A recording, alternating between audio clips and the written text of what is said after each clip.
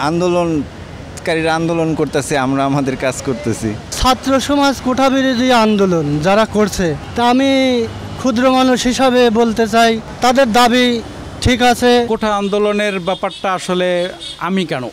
এটা এই আঠারো কোটি ষোলো কোটি মানুষের সবাইরই বলতেছে যে এটা একটা যুক্তি আছে।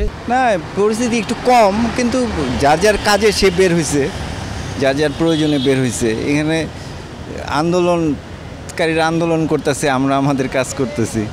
মানুষ তো মোটামুটি ভালোই মামা। আমি শহীদ মিনার একটু আগে দেখে আসলাম কিছু কিছু মানুষ আসছে আর কি। আন্দোলন চলতেছে চলুক আমরাও চাই। এক দফা এক দফে আমরাও এটা মানি। কারণ শেখ হাসিনা সরে যায় এটা আমরাও চাই। শারীরিক পরিবেশ মানুষজন আমাদের একটু কষ্ট হইতেছে কিন্তু তাও এটাই হোক আমরা এটাই দাবি করি এক দফা এক দফা এটাই চাই। রাস্তাঘাটের পরিস্থিতি এটা শুধু আমি বলব না, সবাই যারা রাস্তায় রিক্সা শ্রমিক নেমেছে, সাধারণ জনগণ দু একজন নেমেছে, তাদের হাল হকিতা তো ভালো না। রাস্তাঘাটে লোকজন নাই, আর আমাদের কথা কি বলব? আমরা যখন স্বাভাবিক ছিল দেশটা, তখন আমরা ইনকাম করতাম, এক হাজার টাকা, পাঁচশো টাকা আমাদের থাকতো। এখন তো আমাদের ভাতের বিল গাড়ি জমা আমরা তুলতে পারতেছি না। খুব অভাব অনটনের মধ্যে আছি। তো তাই বলব দেশের, সারা দেশের মানুষকে এই সমাধান যেন অতি বিলম্বে যেন হয়, যেন আবার পুনরায় যেমন দেশ চলেছে ওই রকমই যেন চলে।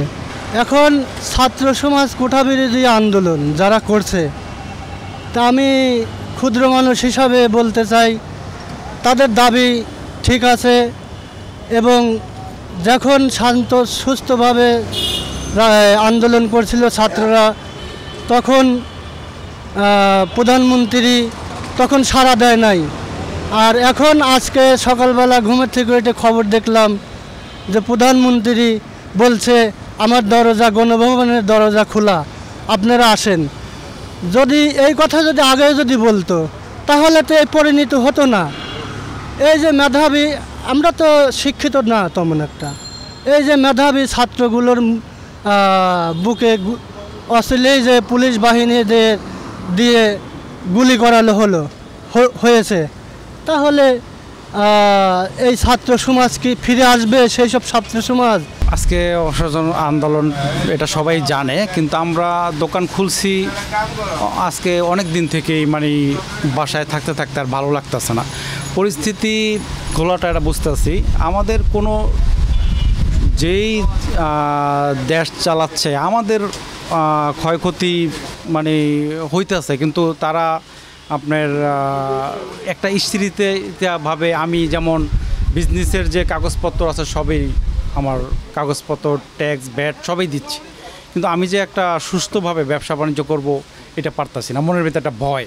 আমার কথা হলো ছাত্রদের যেই নয় দফা আছে, এইগুলো মাইনা নিয়া বা যেটাই যে কটা ইয়ে মাইনা নিয়া, এটা একটা সুষ্ঠুভাবে দেশ আগায় যাওক এটাই আমরা চাই। কারণ আমরা একাত্তর সালের যুদ্ধ দেখি নাই। কিন্তু এখন আমরা যে অবস্থা দেখতাছি, তার মনে হইতেছে তার ওরকমই ভয়াবহ অবস্থা। কোঠা আন্দোলনের ব্যাপারটা আসলে আমি কেন? এটা এই আঠারো কোটি, ষোলো কোটি মানুষের সবাইরই বলতেছে যে এটা একটা যুক্তি আছে। যুক্তি ভাবেই তারা নামছে। আমরা ছাত্ররা এক দফা চাইছে, এক দফার দাবিতে আমরা বলছি, ভাই, আমি যেটা বুঝি যে ছাত্রদের যে আন্দোলন, সেই আন্দোলনটা কোনো দল, বিএনপি, আওয়ামী লীগ, জামাত, বা এটা কোনো দল না, এটা তো ছাত্রদের পক্ষে সবাই নামাই উচিত। আমরা যাদের ভাই হারাইছি, ছেলে হারাইছি আর আমরা গার্জেন হিসাবে ছাত্রদের পাশে সবাই থাকাই উচিত। আর এটা ওই এক দফা মানা উচিত আমার মনে করি আমি। সাবেক পরিস্থিতিতে আমি মগবাজার থেকে আসছি, একজন পুলিশও দেখে নেই, সারা রাস্তায় কোনো পুলিশ টুলিশ নেই। আর স্বাভাবিক পরিস্থিতিতে যে খুবই ঘোলাট কোনো গাড়ি বাড়ি কিছুই মানুষের নাই, হাঁটাচাল নাই নিরাবার কি একেবারে সুস্থ অবস্থাকে হয়। না, কোনো দোকানপাট খোলা হয় না এখন শান্ত কোনো মানুষই নেই আর কি রাস্তাঘাটে।